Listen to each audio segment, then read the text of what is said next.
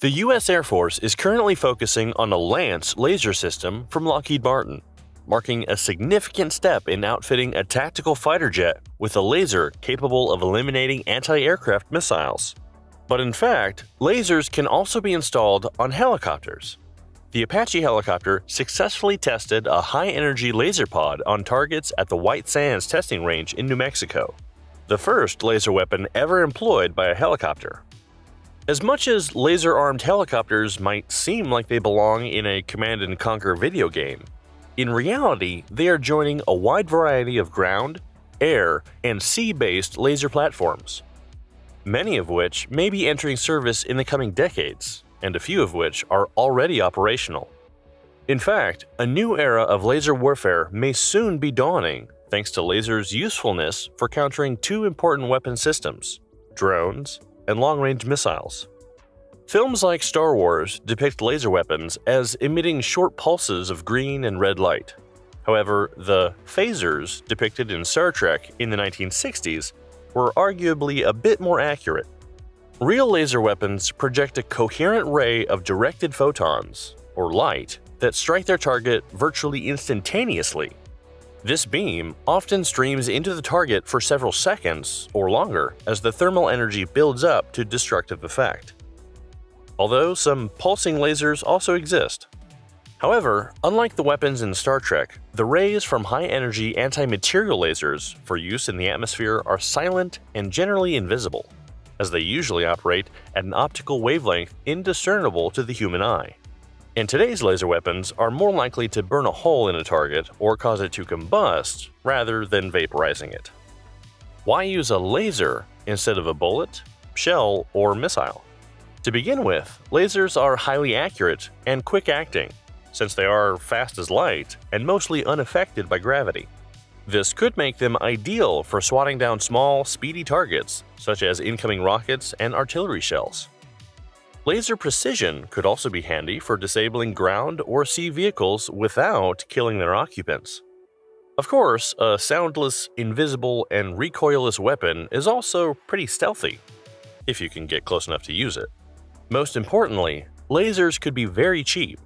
Contemporary missile defense systems, such as Israel's Iron Dome or the United States' GMD anti-ballistic missile system, are much more expensive than the missiles they are designed to shoot down, making them untenable were they to face mass attacks. The same problem exists at the tactical level when considering how to counter the future threat of weaponized drone swarms, basically large flocks of small, expendable drones designed to overwhelm enemy defenses.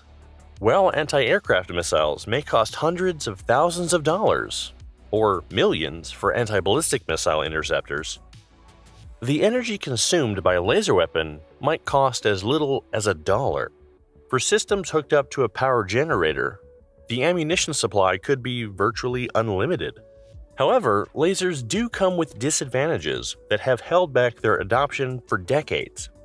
To start with, laser energy tends to bloom or diffuse in the atmosphere, limiting maximum range especially when obstructed by sand, smoke, or fog.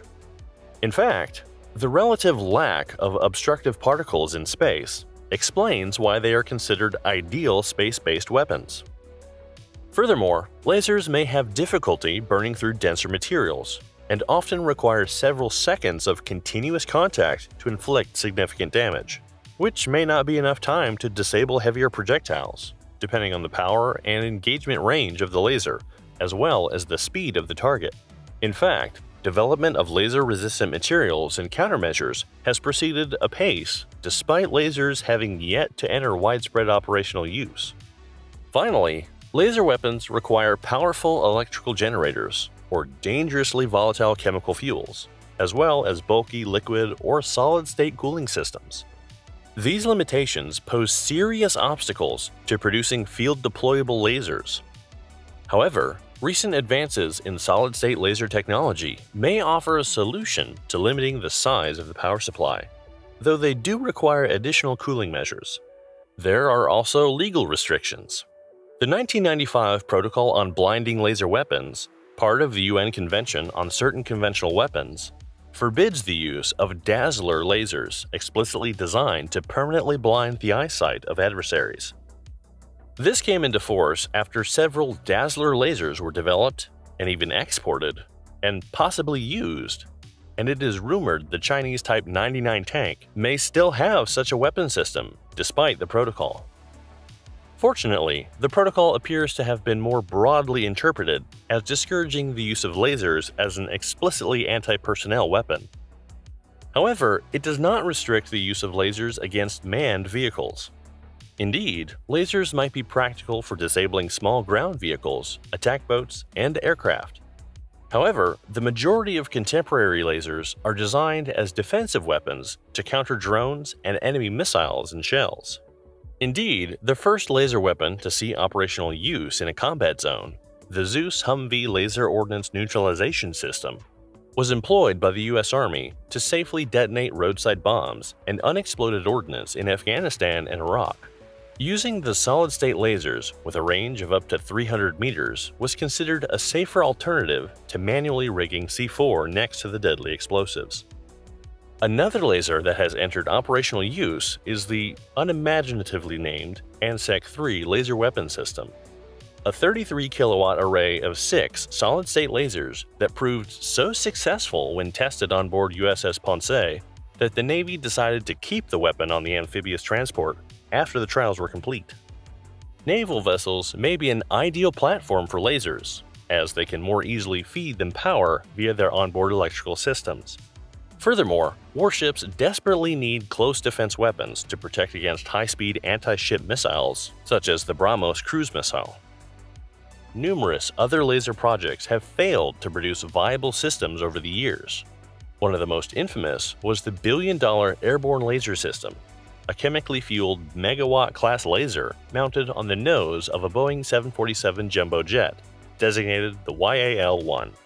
Smaller tracking lasers helped aim the huge weapon, which could fire 20 to 40 pulses lasting 3 to 5 seconds each.